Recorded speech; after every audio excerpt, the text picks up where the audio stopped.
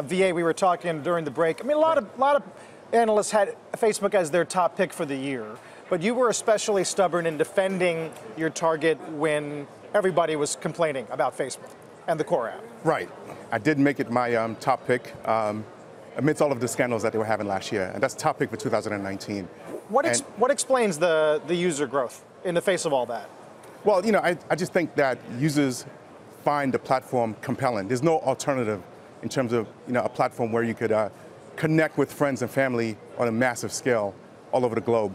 There's really no alternative to Facebook right now, which is why you're seeing the user base is so sticky, and as well the advertisers are following. Right. Expenses are no, they, they reiterated the guidance on OpEx. Yes. So why is it, why are investors thinking of it differently now? Uh, two reasons. One, uh, stock went from 217 to 123 in five months, so you kind of gained back half of that. There just was a lot of negativity built into it. But two, I think all of the financial uh, impact is decisions management made. Right? So, in terms of the performance of the actual platform, advertiser demand, user engagement, all that stuff that really drives what the financial model is going to do, that was all intact. And I think the numbers yesterday told you that, uh, that essentially, yeah, costs are up because they told you costs are going to be up. They took this, whatever it is, three percentage point hit to gross margins. They told you they were going to do it. It's not something uh, that was unintended effects, at least not yet. So, Victor, is reality priced into this stock now? Is this 170 roughly where it is right now, where it should be trading, or is there still some kind of a reputational discount uh, that investors should be thinking about? I I think the stock should be up 20%. I'm surprised it's not. But this is the story Nina, Facebook told last night. No pun intended, given the story's monetization. right. That's part of the reason. this story's not going to disappear. Right. So, yeah. 2.7 billion users on the platform. You know, put that into perspective.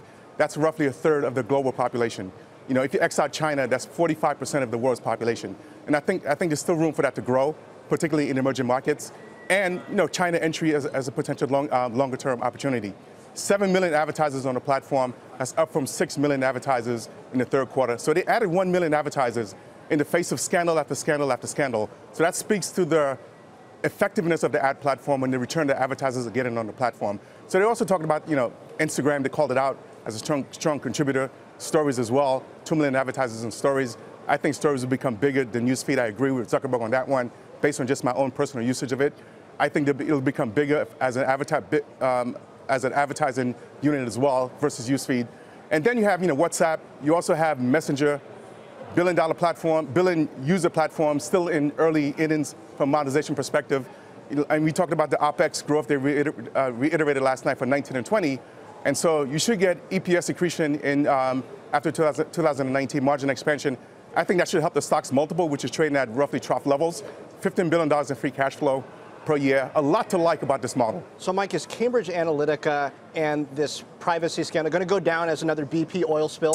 But for Facebook, where we mark, hey, people took this maybe a little bit too seriously from a stock perspective? Maybe in terms of the immediate vulnerability of the, of the company and the business, yes, but uh, I still don't think it, it necessarily means well, never mind all that stuff, right? You still don't have you still don't have people particularly uh, willing to say they love the platform or everything on it, and so I think it's still uh, you come away with this idea that it's going to be an ongoing issue for Facebook to sort of fight for uh, its reputation and also just sort of fight for the integrity of the of the platform. So it's not something that's hey we cleaned up the spill and now we're fine.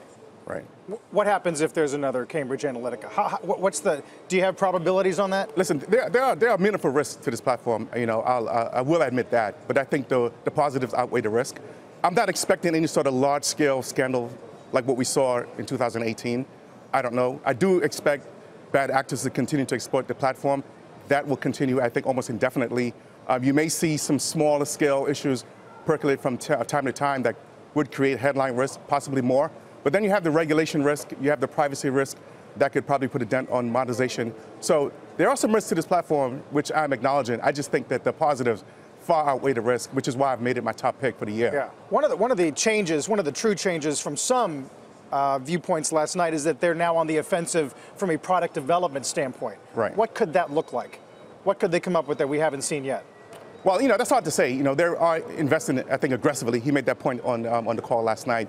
In spite of, you know, the health and safety issues that they're working with, they are investing in product development. So I can't really sit there and use my crystal ball to say exactly what they'll come up with, but I do, but I do anticipate that they will over the next probably two, three years.